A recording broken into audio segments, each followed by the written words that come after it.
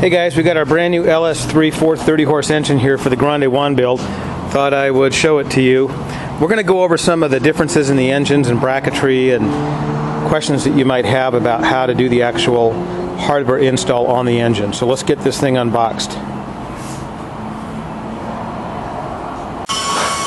Alright guys, here's our new engine. A lot of noise around me, hopefully you can hear me.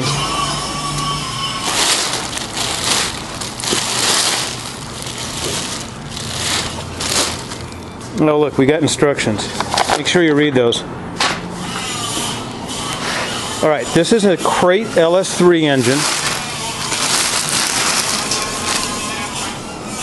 All aluminum, 430 horsepower, although we've dynoed these at 450. Very mild cam, idles about 600 RPM, they crawl really good. And let's go over a few items on this engine. This is a Corvette-based LS3 engine, so it has the low intake, low throttle body. This is your steam port on an LS3. On all the LS3 engines, whether that's a 480 horse or a 430 horse or even the 525 horse. This is a reverse flow cooling system, so the water goes from the bottom up. What happens is air gets trapped at the bottoms of the head and this steam port allows that to purge out. So it's very important that you connect this to the upper radiator hose. I prefer the upper radiator hose to a heater hose because the flow is better, more constant. This is a this came set up for a Corvette. We can tell by this balancer.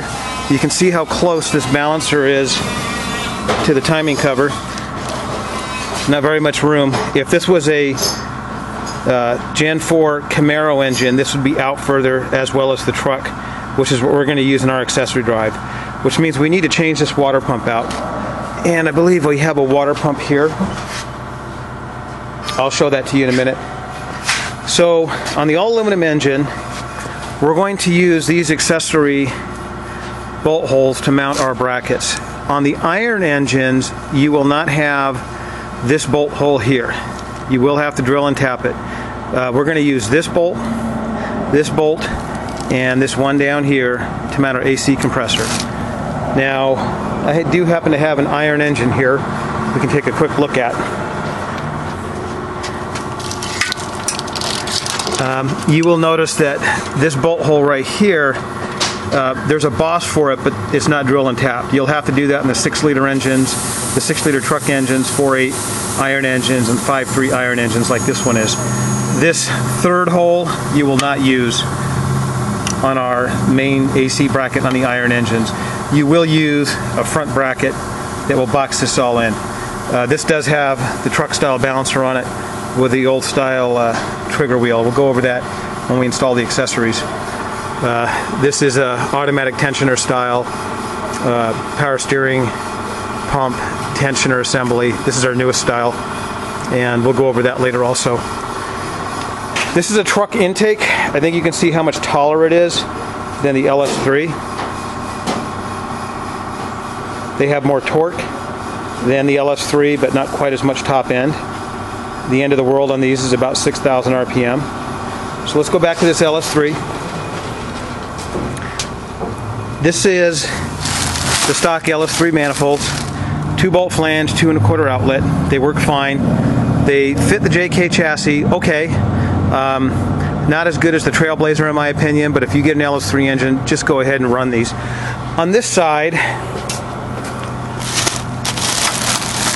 this does get a little bit close to the upper control arm. Let me, our engine mount, let me show you on a build we're doing over here.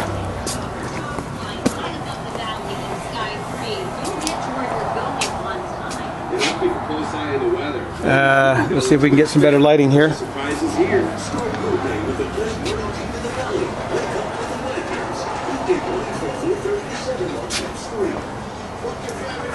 Now, he has long arms in this. Uh, if he didn't have long arms, the original bracket would be up in here. And you'll notice that this, this pipe has to be tilted over just a little bit to clear it. With these long arms, we're not having an issue.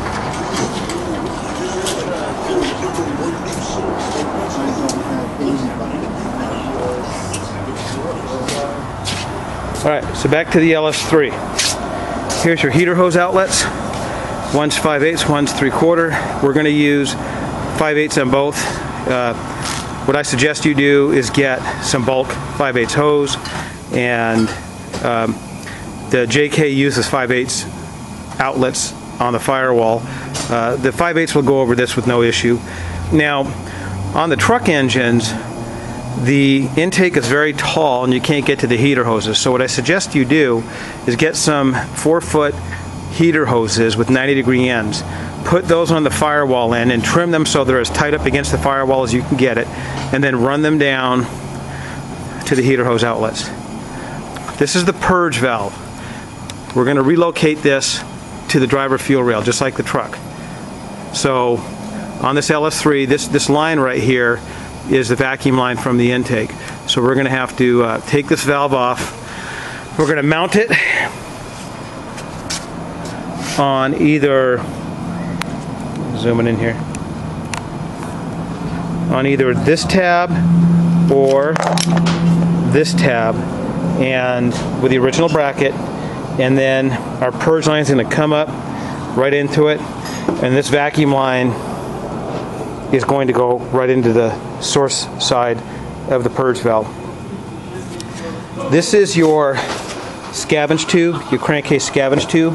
That's going to go to the air intake tube. Uh, basically, this is where it pulls the fresh air in to vent the crankcase the, for the positive crankcase ventilation or PCV.